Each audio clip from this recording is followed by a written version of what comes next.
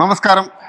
നമ്മൾ കഴിഞ്ഞ രണ്ട് മാസം ഒന്നര രണ്ട് മാസമായിട്ട് കേരളത്തിലെ സെയിൽസ് പുതിയ ലൈസൻസ് വിൽക്കുന്നതൊന്ന് നിർത്തിവെച്ചിരിക്കുകയായിരുന്നു കാരണം നമ്മുടെ ട്രെയിനിങ്ങിന്റെയും അല്ലെങ്കിൽ ഹാർഡ്വെയർ സിറ്റിങ്സിന്റെയൊക്കെ സ്റ്റാഫിന്റെ കുറവുകളുണ്ടായിരുന്നു.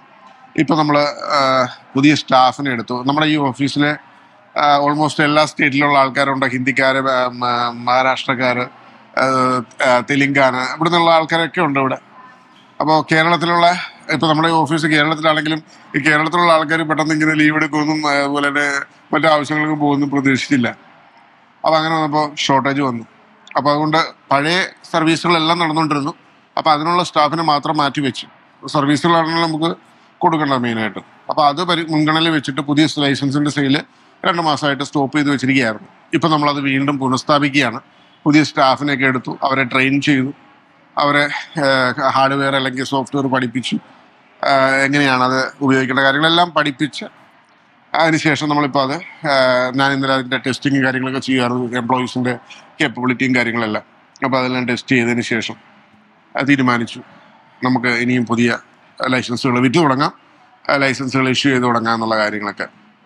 അപ്പോൾ അങ്ങനെ നമ്മളൊരു പുതിയൊരു ടീം നമ്മൾ സജ്ജമാക്കി അതിന് വേണ്ടിയിട്ട് മാത്രം കേരളത്തിലേക്കുള്ള സർവീസിന് വേണ്ടിയിട്ട് അപ്പോൾ അങ്ങനെ നമ്മൾ ലൈസൻസുകൾ ഇഷ്യൂ ചെയ്യാണ്. എല്ലാ ലൈസൻസുകളും റീഓപ്പൺ ചെയ്തു. റെയിൻടെക്കിന്റെ ഡയമണ്ട് എഡിഷൻ റെയിൻടെക്കിന്റെ റെസ്റ്റോറന്റ് ടച്ച് കൺട്രോൾ വെജിറ്റബിൾ ഷോപ്പിൽ ഉപയോഗിക്കുന്ന സോഫ്റ്റ്വെയറുകൾ അങ്ങനെ എല്ലാ സോഫ്റ്റ്വെയറുകളും നമ്മൾ റീഓപ്പൺ ചെയ്തു. നമ്മുടെ ഓഫീസിന്റെ timing nine thirty to five thirty ആണ്. അപ്പോൾ ആ സമയത്തിനുള്ളിൽ നമുക്ക് എല്ലാവിധ സൗകര്യങ്ങളും ഇവിടെ കിട്ടും. ഇപ്പോൾ നമ്മുടെ ഓഫീസ് വന്നിട്ട് വടയാറാണ്. വടയാർ എന്ന് പറയുമ്പോൾ കോട്ടയം ജില്ലയിൽ വൈക്കം തലൽപ്പറമ്പിന്റെ ഇടയ്ക്കായിട്ടാണ് ഈ ഒരു വടയാർ എന്ന് പറഞ്ഞൊരു സ്ഥലം.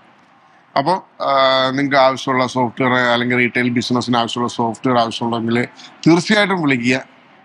കുറേ അധികം കസ്റ്റമേഴ്സ് പറയാറുണ്ടായിരുന്നു. ഇപ്പം ഇന്നലെയും കുറേ അധികം കസ്റ്റമേഴ്സ് കോണ്ടാക്ട് ചെയ്തിട്ടുണ്ടായിരുന്നു അപ്പോൾ ഇന്നും പറഞ്ഞവരെ തിരിച്ചു വിളിക്കുക. ലൈസൻസ് ഇഷ്യൂ ചെയ്യുക. എന്നുള്ള കാര്യങ്ങളൊക്കെ ഞാൻ ഇൻഫോം ചെയ്തിട്ടുണ്ട് സെയിൽസിന്റെ ടീമിന്റെ അടുക്കൽ അപ്പോൾ അവർ എല്ലാവരുമായിട്ടും കോർഡിനേറ്റ് ചെയ്യും. തീർച്ചയായിട്ടും ബെറ്റർ സർവീസ് പ്രൊവൈഡ് ചെയ്യും. സർവീസാണ് മെയിൻ സോഫ്റ്റ്വെയറിനകത്ത്. അല്ലാണ്ട് കൂടുതൽ സോഫ്റ്റ്വെയർ സെയിൽ ചെയ്ത് എടുക്കുന്നതിലല്ല കാര്യം ടു ബി ഫ്രാങ്ക്ലി അങ്ങനെ ചെയ്യുന്ന ഒരുപാട് സ്ഥാപനങ്ങളുണ്ടാകും.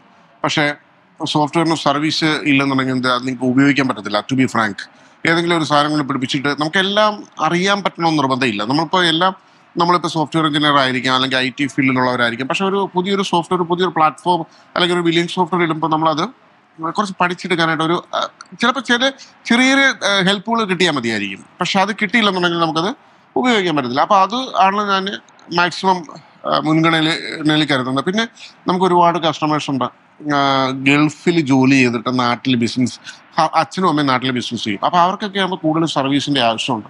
അപ്പോൾ ഒറ്റ പ്രാവശ്യം രണ്ട് പ്രാവശ്യം കൊണ്ട് സർവീസ് തീരിയല്ല. പത്തോ പന്ത്രണ്ടോ പ്രാവശ്യമൊക്കെ കണക്ട് ചെയ്യേണ്ട ആവശ്യം ഒരു എൻ ഡെസ്കിൽ ടീം വ്യൂറിലൊക്കെ കൂടി.